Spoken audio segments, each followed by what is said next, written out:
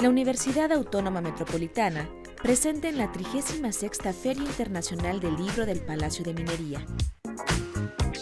Del 18 de febrero al 2 de marzo, asiste a las más de 50 presentaciones de nuestros libros y revistas. 35 lecciones de biología.